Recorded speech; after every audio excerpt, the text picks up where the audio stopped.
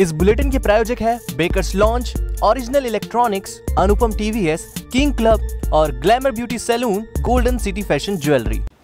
नमस्कार अभय न्यूज़, रविवार दोपहर के बुलेटिन में आपका स्वागत है। आइए चलते हैं ज़िले भर की प्रमुख खबरों की ओर। कुख्यात डाकू खड़क सिंह की पोती ने बीती रात इंदौर के एमवाईएच अस्पताल में दम तोड़ दिया है। मृतिका गायत्री, पति राजू उर्फ़ राजेश सिंह 35 वर्ष को उसके पति ने घासलेट डालकर ज़िंदा जला दिया था। घटना के बाद गायत्री को गंभीर हालत में जिला अस्पताल में ले जाया गया था, जहाँ हालत गंभीर होने के बाद उसे इंदौर रेफर कर दिया गया था। गायत्री 90 प्रतिशत से अधिक जल गई थी। उसने शनिवार देर रात को अंतिम सांस ली। गायत्री और राजू के बीच तीसरी महिला के चलते विवाद होते रहते थे। पति के अवैध संबंध के चलते ही घटना के पहले दोनों के बीच विवाद हुआ था। तहसीलदार को दिए बयान में मृतिका ने पति द्वारा घासलेट डालकर आग लगाए जाने की बात कही है। मामले में चिंतामण थाना पुलिस ने जानलेवा हमले के आरोपी राजू को गिरफ़्तार कर जेल भेज दिया है। गायत्री की मौत के बाद अब हत्या की धारा बढ़ाई जाएगी।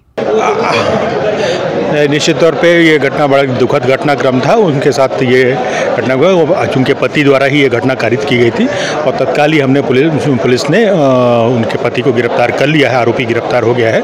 उसको हम माननीय न्यायालय के समक्ष प्रस्तुत कर रहे हैं। माकड़ोन के समीप ग्राम टुकराल में बाइक की आमने सामने टक्कर में दो युवकों की मौत हो गई है। टक्कर इतनी जोरदार थी कि दोनों युवकों ने घटनास्थल पर ही दम तोड़ दिया, जबकि दो अन्य घायल हैं।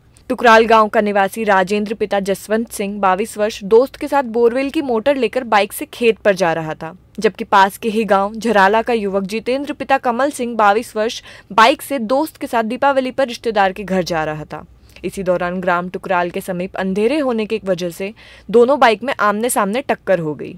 राजेंद्र सिंह की बाइक पर रखी बोरवेल की मोटर दुर्घटना का कारण बनी, जिसमें राजेंद्र सिंह और जितेंद्र सिंह की मौके पर ही मौत हो गई, जबकि बाइक सवार दो अन्य युवक गंभीर रूप से घायल हो गए हैं, जिन्हें उज्जैन के निजी अस्पताल में भर्ती किया गया है।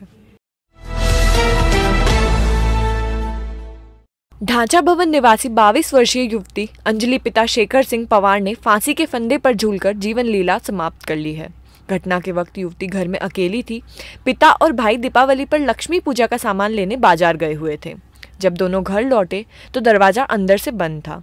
आवाज़ देने पर कोई प्रतिक्रिया नहीं हुई। शंका होने पर बड़े भाई अंकित ने जब वेंटिलेशन से देखा तो उसकी आँखें फटी रह गई। छोटी बहन को फांसी के फंदे पर झूलता देख अंकित की चीख निकल गई। आत्महत्या के कारणों का फ़िलहाल खुलासा नहीं हो पाया है। चिमनगंज मंडी थाना पुलिस जाँच कर रही है।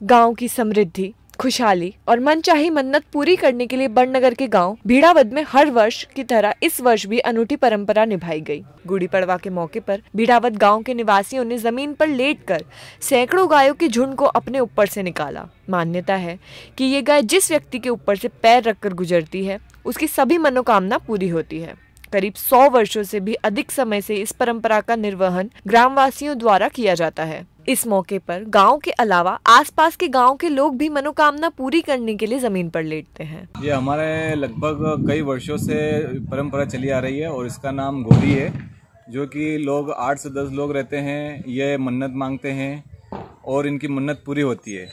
तो ये क्या है कि आज के दिन गोवर्धन पूजा, जो कि आज दीपावली के दूसरे दिन गोवर्धन जी की पूजा करते हैं पड़वे के दिन।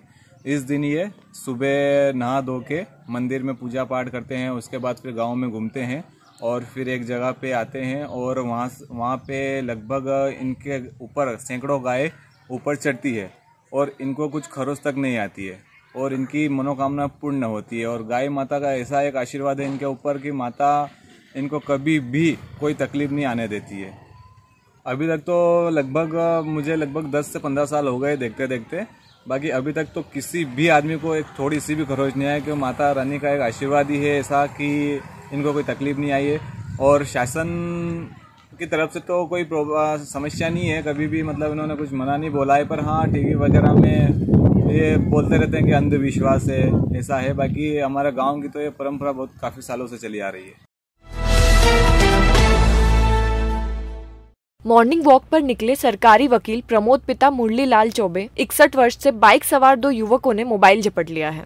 प्रमोद चौबे मॉर्निंग वॉक से घर लौट रहे थे। इसी दौरान महाकाल वाणिज्य स्थित शुद्ध श्री रेस्टोरेंट के सामने दो बाइक सवार बदमाशों ने घटना को अंजाम दिया।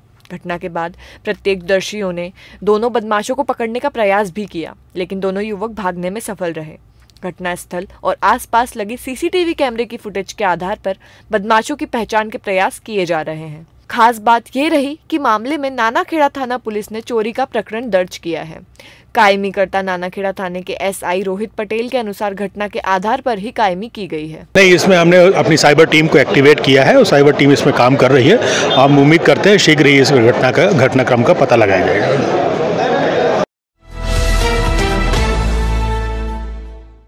तो ये थी ज़िले भर की प्रमुख खबरें। आपको हमारा बुलेटिन कैसा लगा, इसका फीडबैक कमेंट सेक्शन में ज़रूर दीजिएगा। कल फिर मिलेंगे नए बुलेटिन के साथ। नमस्कार।